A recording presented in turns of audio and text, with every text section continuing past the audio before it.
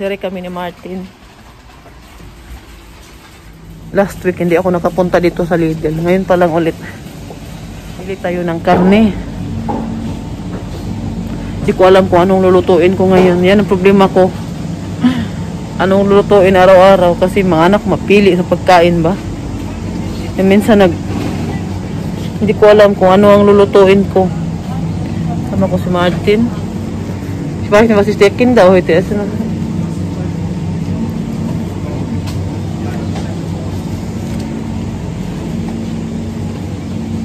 kabaligan. Ito mga sale. Dami nilang sale sa Lidl.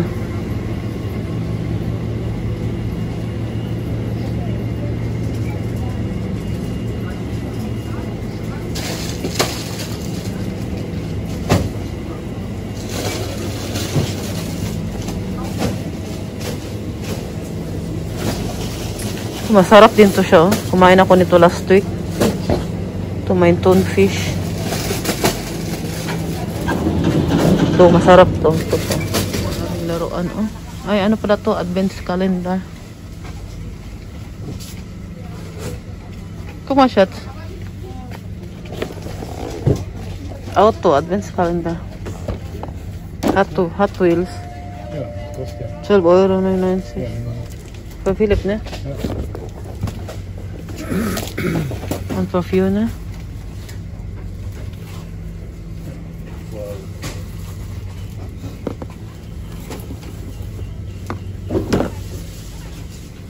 Jo, wie viel kostet eine?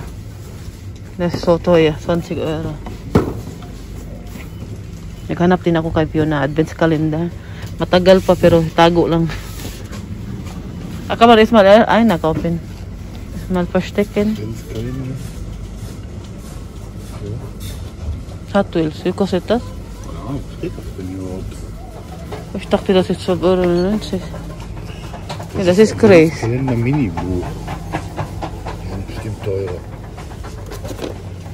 das ein Werkzeugfett ist, das hier unten. Das wäre einer Familien-Adventskalender. Und Late- normalerweise late tip. Das hier oben drüber immer. Ne? Nu muss ich mal fragen, wie viel kostet aber na teuer, holen wir nicht. Die Adventskalender Racers. Das wäre der, der kostet 14,99. Cool, das ist auch schon, Schatz. Die Barbie kostet 22,99, dann wird der auch so teuer sein.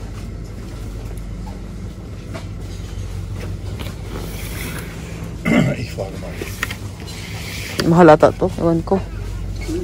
Ito naman lahat ay para sa Pasko. Mga biskwit. Yan, dami na sa Lidl. Kahit malayo pang Pasko, marami nang naka-display. Tapos na kami ni Martin.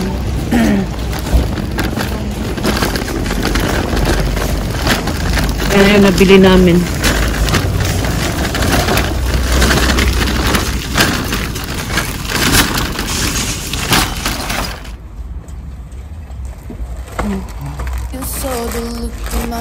To get out of this place.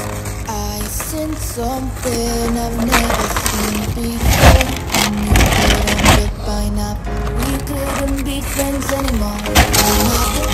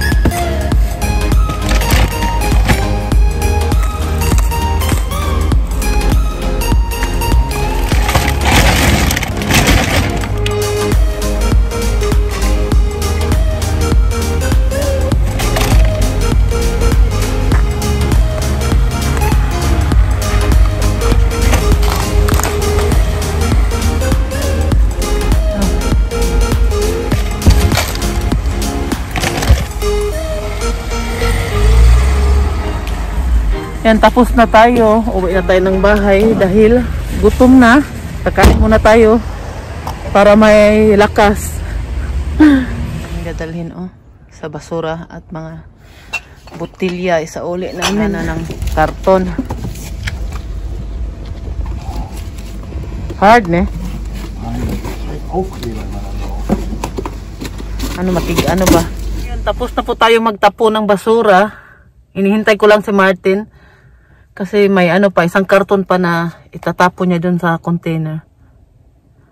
At nakabili na din kami ng bagong may inom, mga tubig. Ngayon, uwi na ng bahay. At kakain na at mag ano na, magsimula na sa gawaing bahay. Si Martin matulog daw siya ulit kasi naantok siya, hindi siya nakatulog ng maayos. Ganyan yan siya pag galing siya sa night shift niya, hindi siya makatulog talaga Monday. tas kinabukasan na naman, mak- ano na siya, mga mga Merkulis na, makas, ano na siya, dandahan na mabalik yung ano niya. Pero ngayon at saka bukas, di yan siya makatulog ng maayos. Yan ang mahirap pag panggabihan si Martin dahil, ano ba, yung oras niya sa pagtulog, parang naanad, parang naano yung katawan niya ba, nasanay sa isang isang linggo na panggabi. Tapos kahapon, hindi makatulog. Mata mo, dumusta Barton? Come. Hello. Mich aufregt es das auch schon. Hello. Alles gut? Hello. Tapos na si Fiona. Kawawa naman. Ang gigil si mama eh. Lassen zu die Kirche. Ito yung paboritong ice cream ni Fiona. Tapos nagsirado sila, mag-ano muna sila. Kasi nga nagmahal ang oil. Sa ano na naman sila. Af- siguro pagkatapos ng winter, balik sila. Fiona, sige na, come. Kasi so. Sabi ko po sa kanya, nasirado. Ito po yung loob, oh. Oh, Fiona. Benta. Ta. Punta na tayo sa taco. Si Fiona, pupunta daw siya sa taco. May bibilhin siya. Ich möchte nicht zu Taco, ich wollte dann nur Ohrringe schlecken. Dapat ganito yung make-up natin kay Oliver, oh. Oliver, okay ba sa'yo to? Niloloko ko na naman si Oliver. Ito. Dugo. Ito. das. Is Oder it das for... ist Fake Blut. Yeah, Das das- ist Fake. ito para sa bata. Oh. Ito para sa akin, Oliver. Bagay ito sa akin, Oli. Niloloko ko na naman si Oliver. Einmal. Eh, wala di ko ma. Ito din, maganda din, oh. Uta ito. Hala. Tiata. Quality. Para sa Halloween. Guck mal das das ist besser. Ha? Guck, dann kann deine Kinder besser so anmalen. Eh. Das schön. Saan si Gemma ba? Istas? Si Gemma magaling mag ano sa... Mag ano, Wer ist das, Tante Gemma? si Gemma magaling mag ano nito, ganito ba sa mga bata. Kasi ni-try niya noon kay Michelle eh, nung birthday ni Steven. Siya nag-makeup ng mga bata.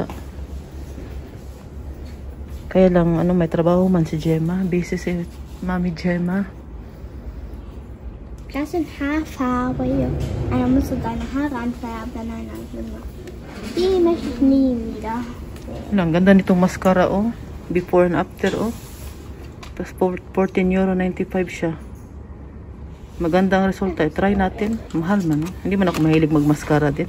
Si Michelle nagmamaskara. Ito din, oh, 25. Maganda siguro to. So, Fiona, baita.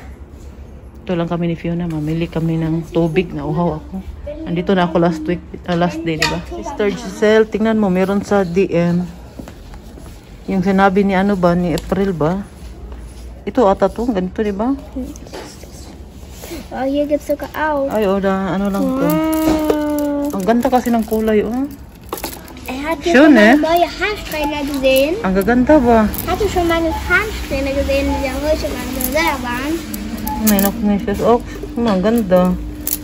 Kano man to? Uy, tingnan ninyo, 39. Sus, kamahal anak eh. Murahin lang to sa akin. Tag 1 euro. Yeah, tam, tag 1 euro lang to sa akin. Murahin lang to ba? Matanggal din naman. Sayang yung pera. Ito na yung mga kandila. Advent Kerzen. Sa akin, kulay red yung bibilhin ko. Pero hindi pa ako mamili. Kasi maliit. Ja, ich kaufe aber Wasser. Ich habe Durst. Warte mal. Sabi ko kay Fiona, nabibili ako ng tubig dito kaya nauhaw ako. Ito din siya maganda din. Meron din kulay. Green. Ito din, oh. Ma-red siguro ako or white. Ano pa naman? Sa November pa. 27 November ang first advent.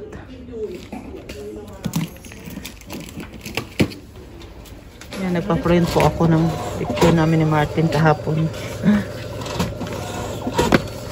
Weil das kann sogar hängen, wenn wir eine Tasche mit haben. Wenn ich es schon halten wieder kann, dann kann ich es ab. Bumili na naman siya niyan sa pera niya. Wow. Das schon alles? Ito na. Aber auf Aufmachen.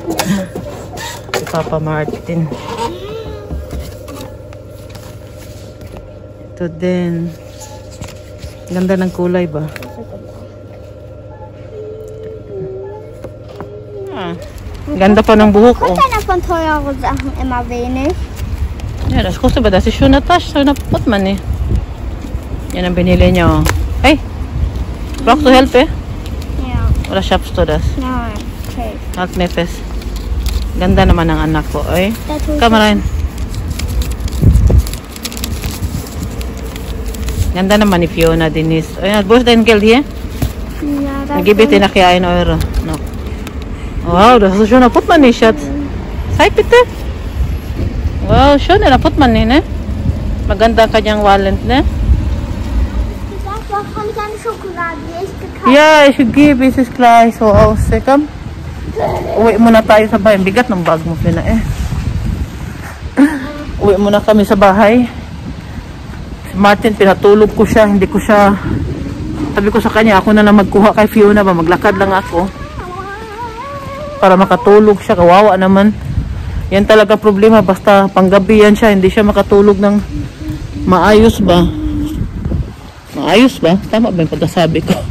Yun na. Wow. Ay, ganda na rin. Arte-arte, oh. Ang buhok niya, oh. Arte-arte. Alle sechste Haare. Schön, ne? Ka- Darfst du das in Schule? Ja. Ja, okay. Ich dachte, du darfst das nicht in die Schule.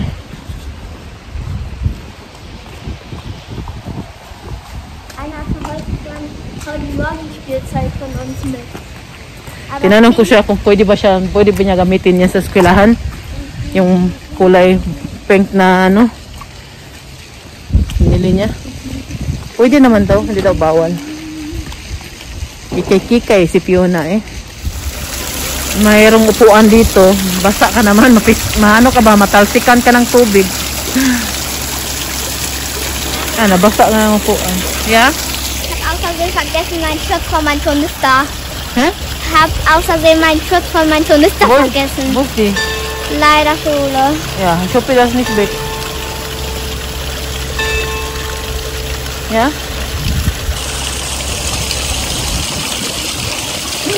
Zu Hause. Lugar namin, oh. Ano na, malinis na. Nilinisan na kanina. Wala na mga dahon-dahon. Ganda pa ng view, oh. Sa kapitbahay namin, nagtrabaho na naman sila.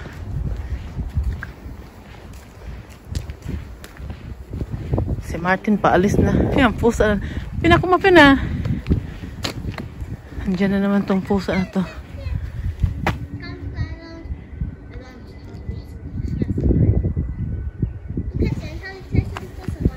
Ha? Yun na. Pas open na. Ito, oh, kailangan ko to siyang ikat ba dahil ang haba na.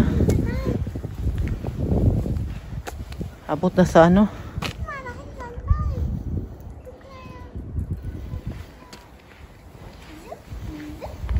O Papa, schon weg? Umas auto nicht mehr da. Umalis na pala si Martin kasi wala na yung auto ni Uma eh. Papa? Nee, ist nicht mehr da. Omas Auto ist da. Nicht mehr da. Komm.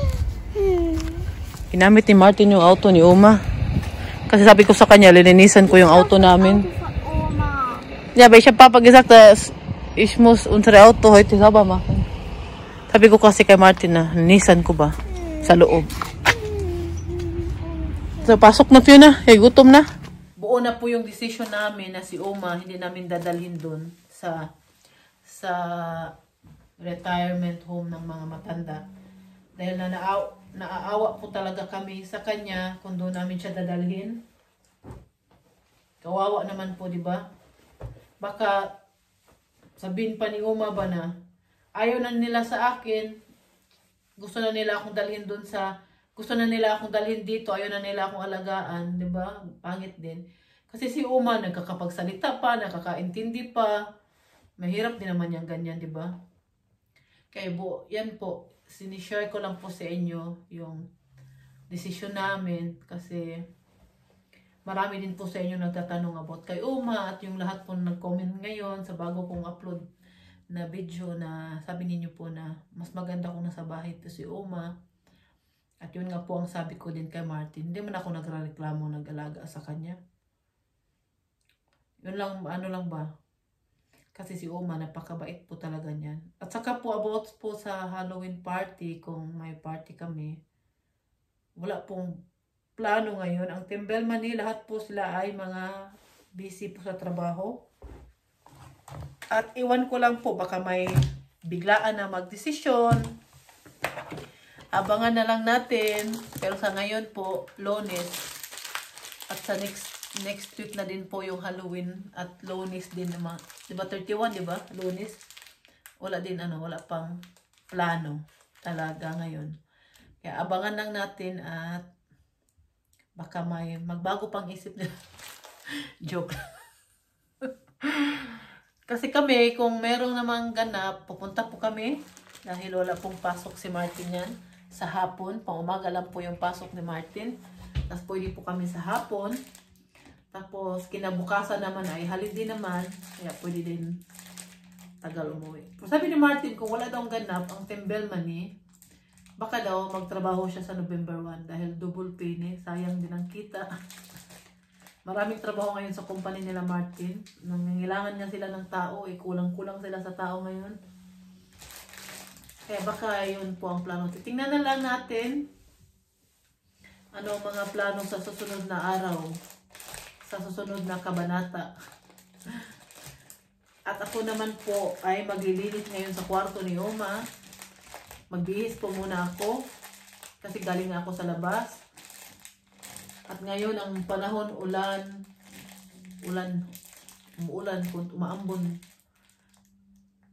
Yung kapitbahay namin maingay na naman sila. Kanina nag-video ako na nisend ko kay Oliver ba, bakit nga ba mahal kita yung kinanta ko? Ito si Oliver, pina, pina, pinarinig niya sa boss niya. Ay, para, para talaga to si Oliver. Ikaw talaga, Oliver, pag nagkita tayo ulit, suntukin talaga kita. Pinakita niya sa boss niya, ah, pinaano, pinarinig niya yung boses ko ba nakakahiya. Sabi ko naman sa kanya, practice pa naman yun. Hindi pa naman yun, hindi pa naman yung totohan ng boses ni Mami Rose. Maaf talaga to si Oliver eh. Palagi talaga akong niloloko ni Oliver. Kung alam lang nyo lang, nyo lang po, palagi akong niloloko niyan. Si Oliver Cagas. Maglinis po muna ako sa kwarto ni Uma. At magbihis muna ako. Yan na po ang kwarto ni Oma. Malinis na po. Nalinisan ko na siya. Napalitan ko na din ng bagong um, ito ba? Presko na yan lahat. At ito din, nalinisan ko na din. Diyan po, diyan po umuupo si Oma kung siya po iihi at tatay. Dito po siya. Parang arenola niya yan. Napuan. Tapos yung TV niya, di ba? Excited na po talaga yung siyang umuwi. Kasi na-miss na, na-miss na po niya yung, yung ano niya, mga palabas na pinapanood niya. At saka, syempre dito sa bahay. Yan, malinis na. Baka yung kortina niya, lalabhan ko bukas. Kasi si Martin lang ang maano ba, magtanggal dyan sa taas ba? Hindi ako ka, hindi ko maabot. Si Martin, si Ma Martin matangkad eh. Kasi Martin lang. Ito na po siya. Yung kanyang bagong TV. Ang laki. Yan, presko na. Ready na umuwi si Oma. ka. Nay, Noknish. Sabi ni Fiona nandiyan na daw si Oma. Sabi ko wala pa.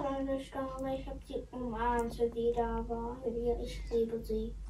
Mama. Tapos na akong maglinis sa kwarto ni Oma. At pinalansya ko na din yung mga damit niya para dalhin sa kita tuloy yung pante. You saw the look on my had to get out of this place. I seen something I've never seen before. When you put on the pineapple, we couldn't be friends anymore. Pineapple thousand, go on pizza.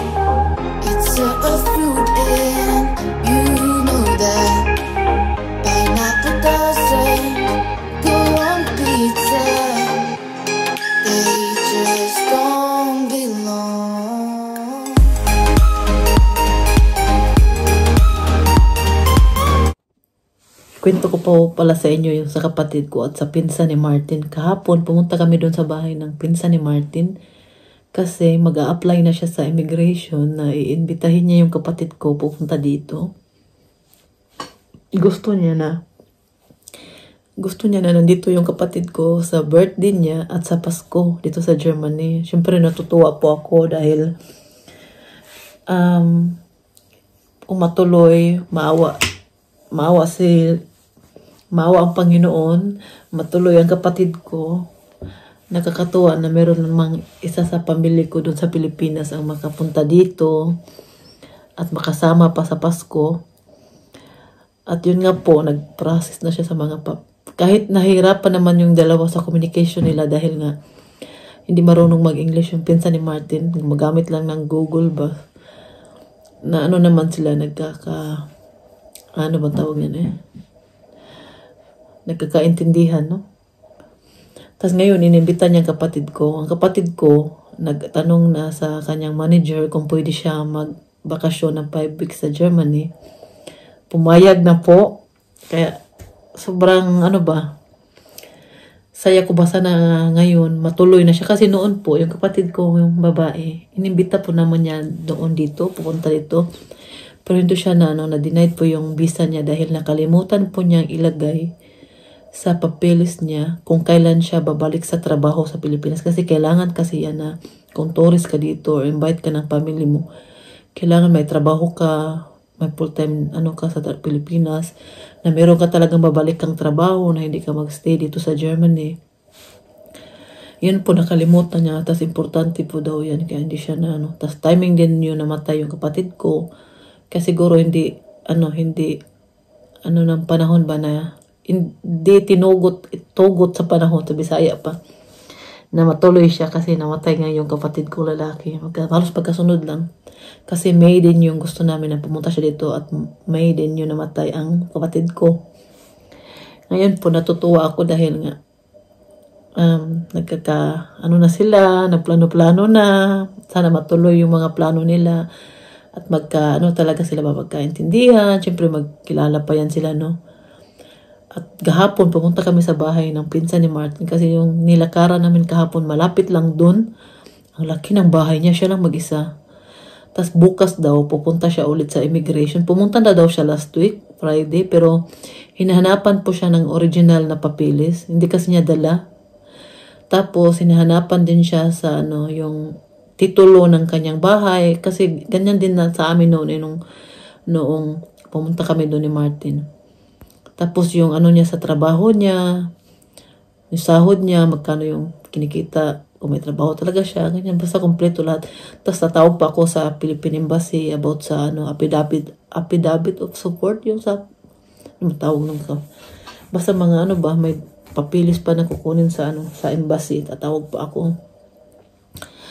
At, um, yun nga sana nga mag, matuloy yung kapatid ko, hindi siya ma-denied ulit. Ipag-pray po natin na matuloy siya dito kasi gustong gusto ko din po na nandito siya, makita niya di, makabakasyon sa Germany. At at sana naman na magkatuluyan sila ng pinsan ni Martin. Yan din ang pinag, pinag-pray ko talaga. Para dalawa na kami dito. Dito naman yung mga tita ko, malapit lang din naman sila pero mas iba pa rin yung kapatid mo talaga mismo ang malapit. Tas malapit lang dito sa amin ba? Para mas, lalo pa kaming dumami dito sa Germany. Kaya nakakatuwa yung mga plano nila. Late ko na ngayon nalaman yun. Sinabi lang ng kapatid ko ba. Ngayon po na ano, December po sana matuloy. Mawa si, mawa si Lord. Matuloy ang mga plano at hindi siya ma-denied ulit. Kasi may trabaho naman siya doon sa Pilipinas. At yung trabaho po niya ay ano po siya, German company din po. Nasa Hamburg ang pinakamalaking company ng saan siya nagtatrabaho. Pero sa ano nila, sa Cebu, City- sa, sa Cebu, ano siya, parang Australian ang may-ari ata. Ano ko. Hindi ko naintindihan yung sabi ng kapatid ko. Kaya sana matuloy. Yun po ang update sa kanilang dalawa. At excited po ako. Baka may kasalan na magaganap. may kasalan na. At sabi ko nung kausap ko yung mama ko ba, sabi ko, kasi yung mama ko hindi din nila alam. Ako lang, kung tumatawag ako doon, ako lang nagsasabi ba. Yung kapatid ko kasi hindi siya mahilig mag, magkwento-kwento kung hindi pa na nangyari ba, hindi yan siya mahilig magkwento-kwento. Ako lang nagsabi sa mama at papa ko na pupunta dito yung kapatid ko. Sabi niya, ha? Pupunta dyan? Kasala na ba? Ganyan, sabi ko. Iwan ko sa kanila. Sabi ko sa mama ko, ewan ko lang. Sabi ko, ma, sabi ko, ma, okay lang sa'yo, ma, kung nandito na siya, at dito siya sa Germany. Sabi ng mama ko, okay lang, dalawa na magbigay sa akin ng pera. pera mo na agad. Grabe, this mother eh. dalawa na na magbigay sa kanya ng Pero natutuwa sila kaya ano ba? May edad na yung kapatid ko ano na 30, 32 na ata siya. Tapos may dalawa pa akong kapatid lalaki, wala pa ding mga asawa, mga binata pa. Dalawa lang kami may as nag-asawa, yung panganay namin at saka ako. Na sana yung kapatid ko, ano na to ba? Sila na talaga ang tinaghana ng panahon. Mabait din yung pinsan ni Martin. Next time pag ano ko, baka pwede ko siyang i-video. Mahiya kasi ako magtanong. Kahapon, meron siyang bisita doon, meron kaibigan niya. Nandun yung mga kaibigan niya, dalawang lalaki. Nagkainan sila. Kaya sana po na matuloy ang kapatid ko. Pinag-pray ko talaga yan na matuloy siya dito. At yun lang po munang update sa kanila. At sana, kasi next month ata siya mag-apply ng ano, ipadala pa sa Pilipinas yung mga papeles at next month siya mag-apply ng kanyang visa. At sana nga matuloy sila, matuloy siya dito Pag-pray ko talaga yan, araw-araw. Eh, ano po natin nating video ngayon, mas medyo mahaba na po siya. Maraming maraming salamat po sa panonood, sa walang sawang suporta. Sana po hindi niyo kami, ano, hindi kayo magsasawang panoorin ng Tembel Money.